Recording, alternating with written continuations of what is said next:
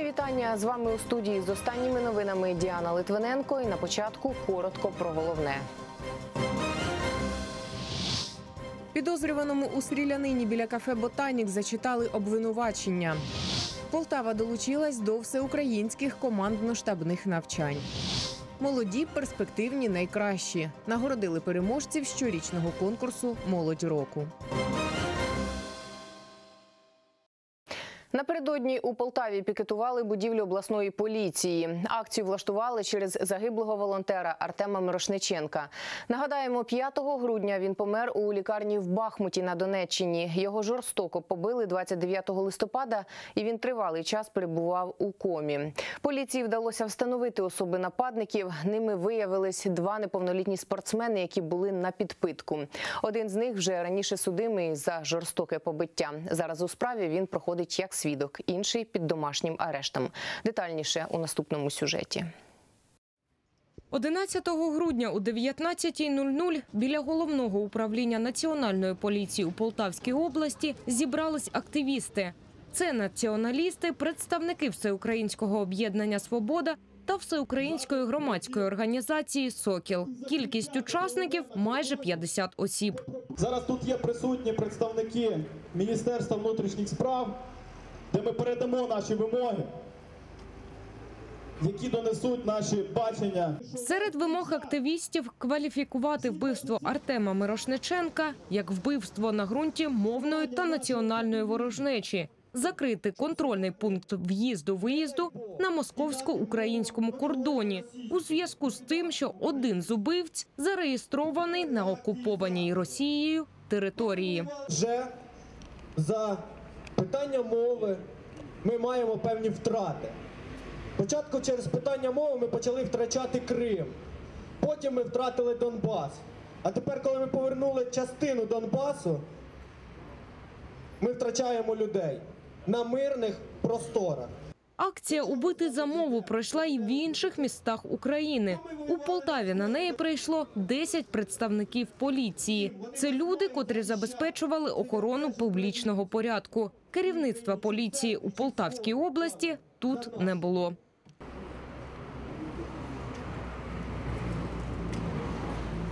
Завершилась акція покладанням квітів та лампадок на ганок управління. Юлія Хаврель, Павло Бардиш, телеканал Центральний.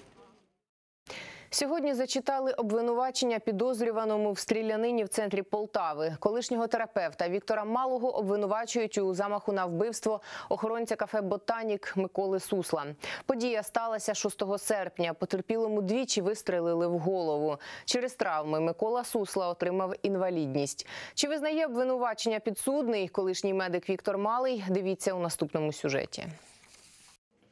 На початку засідання адвокат Галина Марченко звернулася до суду з проханням долучити до справи висновки медико-соціальної експертизи щодо фізичного стану потерпілого Миколи Сусла.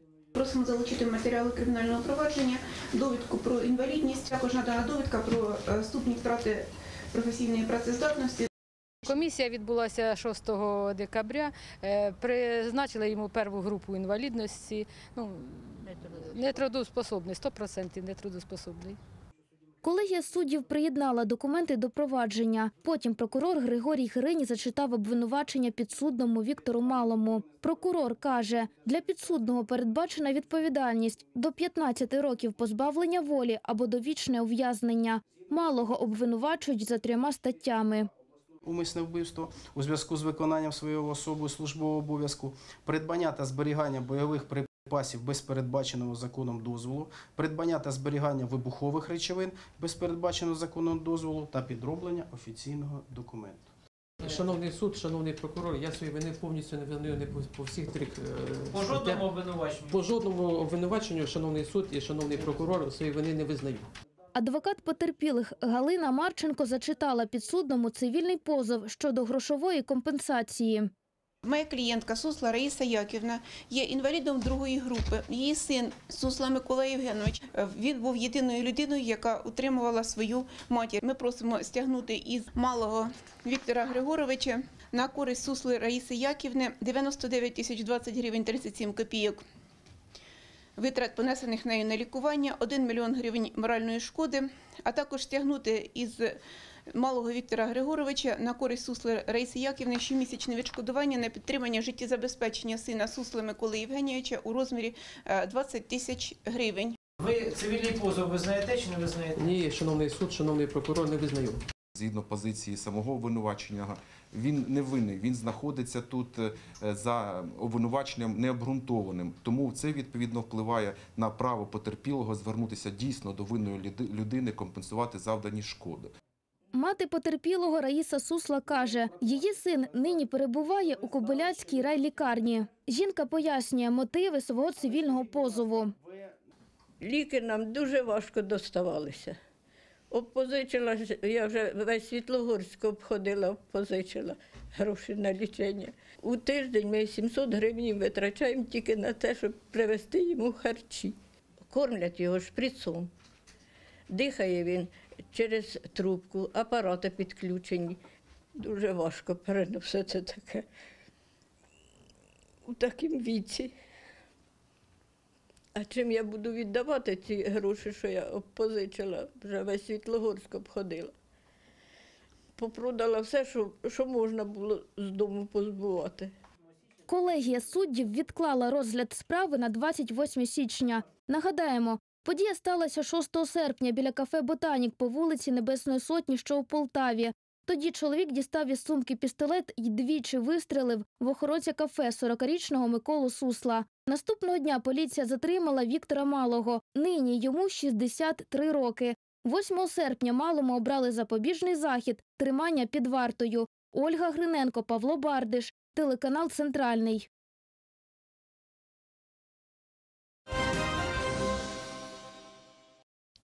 Закон про особливий статус Донбасу буде діяти ще один рік. Сьогодні Верховна Рада України проголосувала за його продовження. Відбулося голосування під час позачергового засідання парламенту. Проєкт закону підтримала конституційна більшість 320 парламентарів. Що передбачає ініціатива продовжити дію документу про особливий порядок місцевого самоврядування в окремих районах Донбасу, дізнавалася наша кореспондентка з Києва. У кінці 2019 року припиняє дію закон України про особливий статус Донбасу. Він набув чинності 18 жовтня 2014-го. Тоді його впроваджували на три роки, потім ще на рік. Сьогодні вже парламент нового скликання тисне кнопки за його продовження. Реєстраційний номер 2569. Прошу підтримати та проголосувати.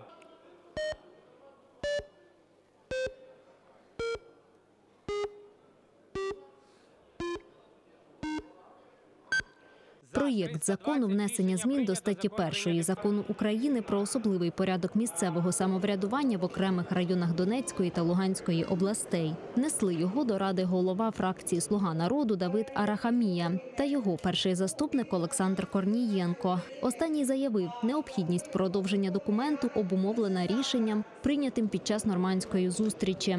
В рамках е, тих позицій переговорних, які були на нормандській зустрічі, вчора якраз спілкувалися з президентом. Будемо продовжувати це спілкування. Поки що це ще напрацьовується. Я думаю, що е, дивіться, ближче до наступної нормандської зустрічі ми будемо бачити прогрес по виконанню домовленості на цій зустрічі, і будемо тоді вже переходити до конкретики.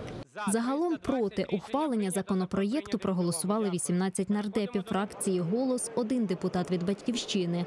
Утрималися 19 нардепів, 15 з них від «Батьківщини», по одному від «Слуги народу» та депутатської групи «Довіра», а також двоє позафракційних.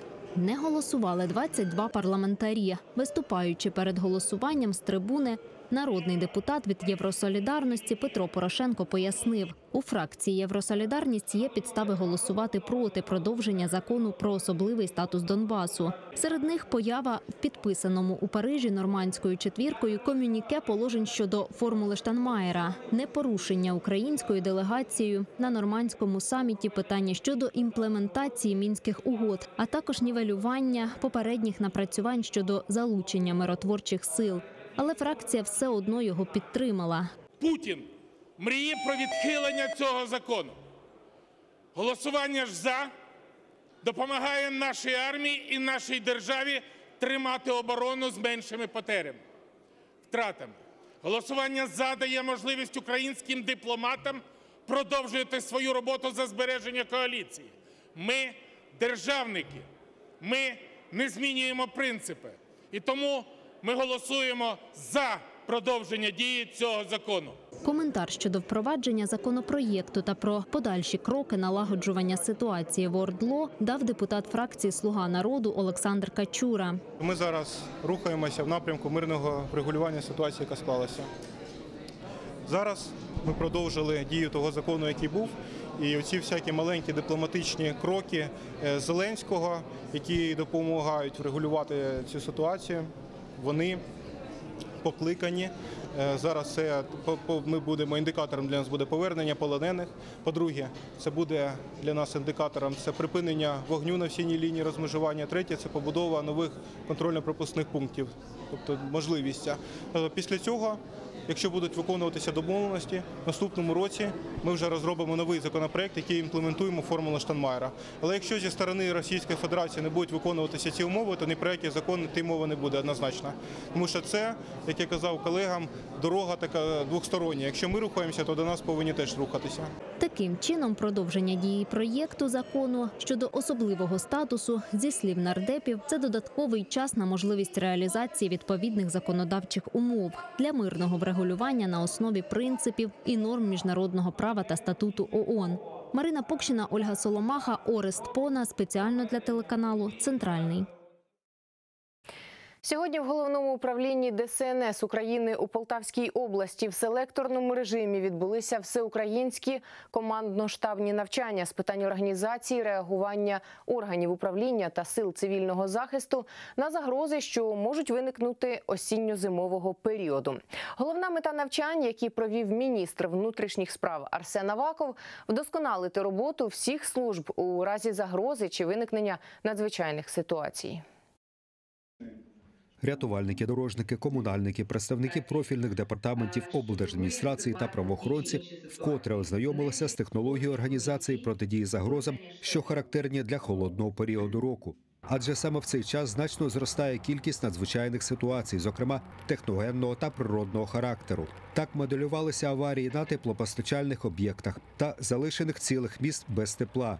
Прориви магістральних трубопроводів, реагування комунальних служб в разі припинення електропостачання, випадки обмороження чи загибелі людей за низьких температур. Не всі регіони готові до таких викликів. Йшлося на селекторні. А ще звернули увагу на утримання в належному стані автодоріг та надання допомоги учасникам руху. На Полтавщині ризики, наприклад, як в минулому році було в нас, коли за буквально 4 години випало 50 сантиметрів снігу. При цьому був потужний вітер, який створював замети, і техніка була в наявності, але в зв'язку з тим, що настільки швидко випадав сніг, поки машина проїхала в один бік, повертається обратно, вже не може розгребти ту кількість сніга, яка нападала. Ми залучали і військову техніку, в тому числі. Тобто, в принципі, були складнощі в минулому році, але ми з ними впоралися. Ну я думаю, на сьогоднішній день всі ці заходи, які відбуваються, в тому числі позавчора, але Синігуба проводив такі е, засідання комісії ТЕП-ТНС, присвячені цим питанням, то область готова до таких викликів. Ще одна проблема, що може постати з початком нового року, пов'язана з припиненням газопостачання з Росії. В зону ризику найпершими потрапляють Харківська, Луганська та Запорізька області. Полтавська область е, в зону ризику не входить. Тобто у нас газопостачання буде стабільним. Е, Ті газопроводи, які проложені території області, ну е, газопостачання з інших джерел надходить. Також під час наради наголошувалося на накопиченні в достатній кількості резервів, ресурсів та виділенні коштів для оперативної ліквідації будь-якої надзвичайної ситуації. Сергій Блавацький, Сергій Лещенко, телеканал Центральний. Афганістан очима хірурга Кандагар 1987-88. Під такою назвою у Полтавській обласній універсальній бібліотеці імені Івана Котляревського відбулася презентація книги нашого земляка, військового лікаря з Полтави Михайла Шика. Ініціаторами її видання стали колишні воїни-афганці, які після презентації передали спогади побратима бібліотекам, школам та лікарняним закладам Полтавщини. Автор книги Військовий лікар Михайло Шик перебував в Афганістані протягом 13 місяців у 1987-88 роках. Там він в щоденнику вів записи, які потім вже вдома опрацював і систематизував. Саморобну книгу в єдиному екземплярі з текстом набраним на друкарській машинці свого часу передали Полтавському краєзнавчому музею для експозиції у відділі, присвяченому війні в Афганістані. На жаль, видати спогади автор не встиг, пішовши з життя 2001 року. І ось у лютому цього року, готуючись до відзначення 30-ї річниці виводу військ з Афганістану, рукописи побачили колишні воїни-афганці. Я познайомився з записами, прочитав, і мене дуже вразила і стиль, і манера подання інформації, і простота, і нема ніякої політики, і, як можна сказати, гола правда про події, про те, що е, відчували солдати, офіцери в Афганістані. Тому ми поставили перед собою задачу, це група ініціаторів е, ветеранів війни в Афганістані, підготувати і видати цю книгу. Тут розповідається про нелегкі військові будні хірурга, який рятував поранених радянських бійців, не відмовляв у допомозі місцевим жителям. Михайло Микитович був начальником хірургічного відділення. Е, І ким би ми там в Афганістані не були, чи то танкістом, чи сапером, чи льотчиком, якщо ми отримали поранення, хвороби е, або контузії, ми опинилися всі однаково в одній площині. Хірургічний стіл, е, скальпель рік- лікаря і отримали необхідну медичну допомогу. Неабиякі враження книга справила і на лікаря-анестезіолога Валерія Похилька. Це не просто спогади лікаря, спогади фахівця.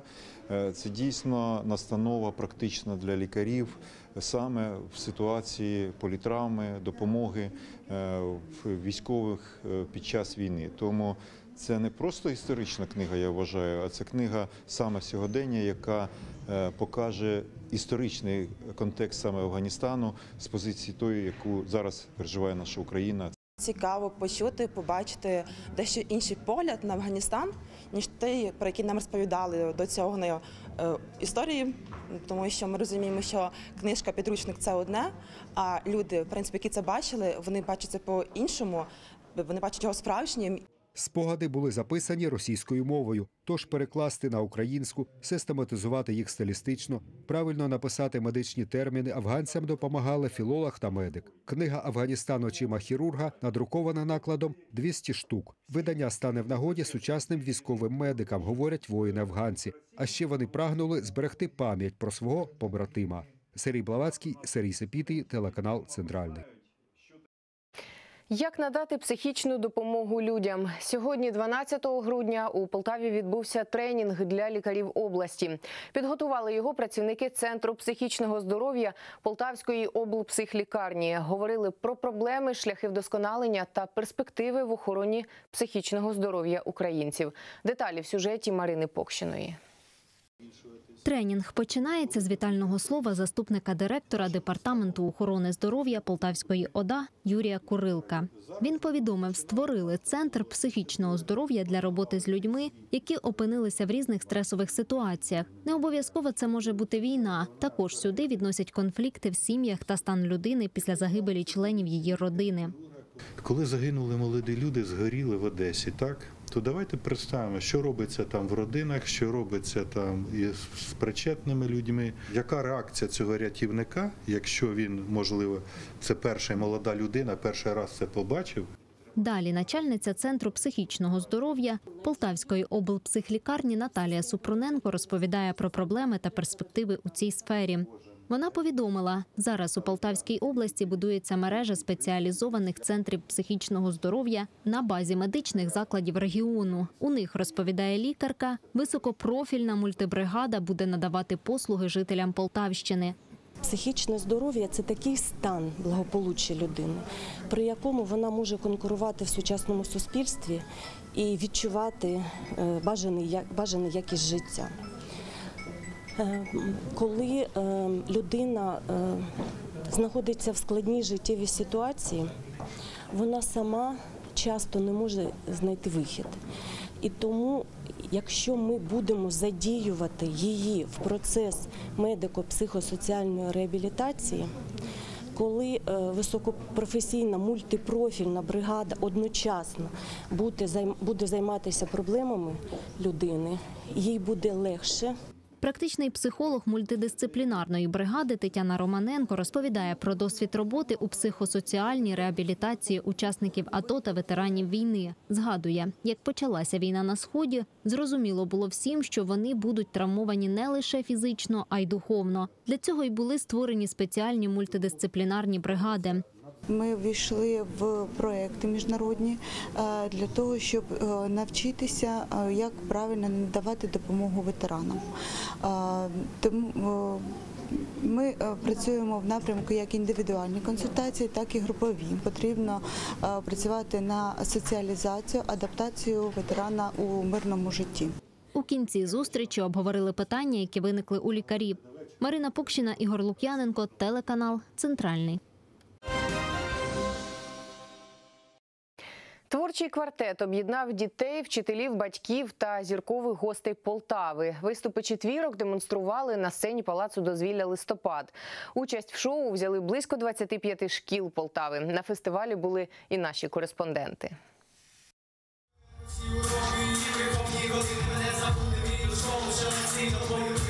Учні, батьки, вчителі та зіркові гості такий склад вокально-хореографічних колективів, які цього дня демонструватимуть свої таланти.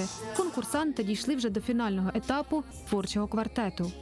У свій час це розпочиналося е, як творчий дует. Потім це переросло в творче тріо. В цьому році це вже в форматі квартета. Міський творчий квартет проводять традиційно. Фестиваль сім років поспіль згуртовує у творчій співпраці учнів, батьків, педагогів шкіл, вихованців різних закладів культури і мистецтва. Ми вже в цьому конкурсі приймаємо участь не перший рік, тобто ми звикли до цього. Тренуємось довго, наполегливо кожного дня і по декілька годин.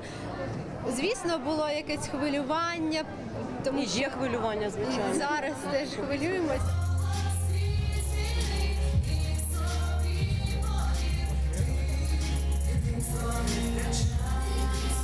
Несемо в собі таку благородну місію, як нести добро, красу, талант, дарувати людям і творити гарну справу. Ми створюємо е, такий номер, який показує гармонію природи, красу землі е, в пісні і танці. Показуємо, як можна єднатися, як можна йти до прекрасного, е, створюючи красу разом. Крім колективів шкіл, на сцені демонстрували співучі таланти, солісти, творчі колективи та заслужені артисти. В освітньому процесі суб'єктами є не тільки вчителі і учні, е, в нього залучені батьки, в нього залучена вся полтавська громада. І сьогоднішній фестиваль є тому підтвердженням. Юрій Матвієнко зазначає, фестиваль викликає велику зацікавленість у полтавців, адже це красиво та вишукано. Ми готували пісню Цвіте терен. Ми готували приблизно два місяці. Спочатку ми розучували текст на репетиції, а потім вже його репетирували у нашій актовій залі. Кожен заклад продемонстрував свою майстерність з різних видів мистецтва. Зі сцени пролунали українські народні пісні, сучасні композиції, світові хіти, ліричні мелодії. А запальні танці та хореографічні номери вражали глядачів і журі фестивалю. Переможців немає, зате визначили та нагородили дипломами управління освіти кращих у кожній номінації. Анна Ружін, Ігор Лук'яненко, телеканал Центральний.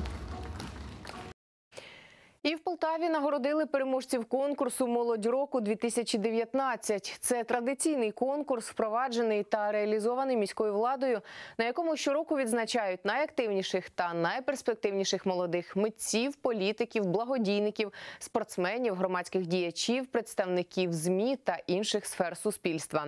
Урочисту церемонію нагородження провели у художньому музеї імені Ярошенка. Цього року переможців обирали не представники спеціальної комісії, а самі люди. Голосували за претендентів на сайті 0532.ua. Умови один голос із однієї IP-адреси. Переможець у номінації Громадський діяч року, екс-мер студентської ради Сергій Шабельник говорить, передусім вдячний за підтримку своїй команді. Я пишаюсь тією командою, яка мені допомогла це все, все, все зробити, які ми разом працювали. Це студенти всього міста Полтави, які ми з цьому підтримували, які ми реалізов- реалізовували різні різні е, проекти. То я дуже вдячний саме їм. Заступниця директора парку Перемога Катерина Бабіч виборола першість у номінації Муніципальний працівник року. Ділиться це величезний кредит довіри від громади. Це перемога точно не моя, а перемога всіх працівників, які були задіяні в створенні змін і наразі комунікують, працюють на загал. Молодий митець року, хореограф, тренер, учасник телешоу танцюють всі Олександр Білоконь мріє і надалі розвивати танцювальне мистецтво, передусім передаючи свій досвід і вміння учням. Просто хочеться підняти е, український рівень хореографії. От на такий рівень, щоб про Україну дізналася е, наша вся от планета, і про нас говорили, і говорили тільки хороші речі. Із незначним відривом голосів у номінації Молодий політик переміг Вадим Ямщиков. Із особистих здобутків депутат називає розпочату роботу по облаштуванню паркової зони у мікрорайоні Браїлки, налаштовану комунікацію із полтавцями. Уніфікація адресних табличок, прибирання з центру міста е, тимчасових споруд, приведення до порядку літніх майданчиків і багато багато чого ми зробили за, за ці роки. Всього номінацій 12. Переможці отримали 5 тисяч гривень із міського бюджету. До слова, звання журналіста року виборола кореспондентка телеканалу Центральний Юлія Бардиш. Саме за такою молоддю ми маємо і вбачаємо гарне яскраве майбутнє розвитку нашого міста. Тому найголовніше завдання нас, як міської влади, забезпечити всі умови для реалізації їхніх проєктів, їхніх думок, мати можливість дослухатися до них і не мати можливість, а саме дослухатися і підтримувати. Лариса Шило, Сергій Лещенко, телевізійний канал Центральний. Це була остання новина сьогоднішнього випуску. З вами була Діана Литвиненко. Залишайтеся з нами. У нас ще багато цікавого.